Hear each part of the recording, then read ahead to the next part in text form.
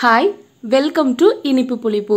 இன்னைக்கு நம்ம இனிப்பு புளிப்பில் வேர்க்கடலை பொளிச்சது எப்படி பண்ணுறதுன்னு பார்க்கலாம் வாங்க.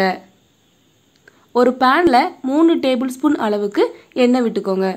எண்ணெய் நல்லா சூடானதும் இதில் ஒரு கப் அளவு வேர்க்கடலை எடுத்திருக்கேன். அதை இந்த மாதிரி எண்ணெயில் சேர்த்து நம்ம நல்லா வறுத்து எடுத்துக்க போகிறோம் அடுப்பை லோ ஃப்ளேமில் வச்சுக்கோங்க. நல்லா கிளறி விட்டுட்டே இருங்க. கடலை தீஞ்சு போயிடக்கூடாது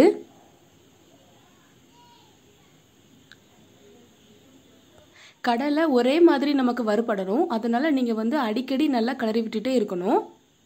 கடலை நல்லா உடஞ்சி கொஞ்சம் நேரம் மாறினதும் நம்ம ஸ்டவ் ஆஃப் பண்ணிடலாம் இப்போ பாருங்கள் கடலை நல்லா வெடிக்க ஆரம்பிச்சிருச்சு.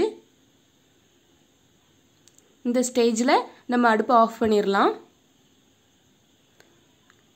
இப்போ ஒரு பிளேட்டுக்கு மாற்றிருங்க இதே பேனில் நாலுலேருந்து அஞ்சு சிகப்பு மிளகாய் ஒரு சின்ன கோலிக்காய் சைஸு புளி மூணுலேருந்து நாலு பூண்டு ஒரு கொத்து கருவேப்பிலை கா டேபிள் ஸ்பூன் ஜீரகம். இது எல்லாம் சேர்த்து நம்ம வறுத்துக்கலாம். சிகப்பு மிளகாய் வந்து உங்கள் காரத்துக்கு ஏற்றாப்புல நீங்கள் சேர்த்துக்கோங்க. எனக்கு இது நல்லா காரமாக இருக்கும். அதெல்லாம் நான் நாலு சேர்த்துருக்கேன். உங்களுக்கு காரம் கம்மியாக வேணும்னா நீங்கள் கம்மியாக சேர்த்துக்கோங்க. இது எல்லாம் ஒரு மிக்சி ஜாரில் மாற்றிட்டு தேவைக்கேற்ப உப்பு சேர்த்து நம்ம அரைச்சி எடுத்துக்க போகிறோம் கொஞ்சமாக தண்ணி விட்டு அரைச்சி எடுத்துக்கோங்க. இந்த மாதிரி பத்தத்தில் அரைச்சி எடுத்துக்கணும். ரொம்ப தண்ணி அரைக்கக்கூடாது இப்போ இந்த பேன்லையே நம்ம தாளித்து எடுக்க போகிறோம் கா டேபிள் ஸ்பூன் அளவுக்கு கடுகு ரெண்டு வரமிளகா சேர்த்து வறுத்துக்கோங்க. கடுகு பொரிய ஆரம்பித்ததும் நம்ம இதில் கருவேப்பிலை சேர்த்துக்கலாம்.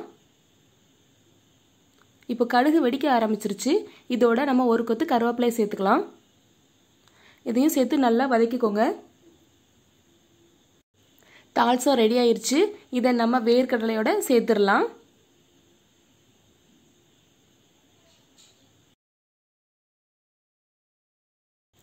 இப்போ நம்மளோட வேர்க்கடலை பொழிச்சது ரெடி ஆயிடுச்சு பாருங்கள் உங்களுக்கும் இந்த ரெசிபி பிடிக்கும். ட்ரை பண்ணி பாருங்கள் இது வந்து சாதத்துக்கு வெரைட்டி ரைஸுக்கு சூப்பராக இருக்கும். ஒயிட் ரைஸோட மிக்ஸ் பண்ணி சாப்பிட ரொம்ப நல்லாயிருக்கும். குழந்தைங்களுக்கு இது ரொம்ப பிடிக்கும். உங்களுக்கு இந்த ரெசிபி பிடிச்சது அப்படின்னா லைக் பண்ணுங்கள் மறக்காமல் இனிப்பு புளிப்பு சேனலுக்கு சப்ஸ்கிரைப் பண்ணுங்கள் அப்படியே பக்கத்தில் இருக்கிற பெல் பட்டனையும் கிளிக் பண்ணிடுங்க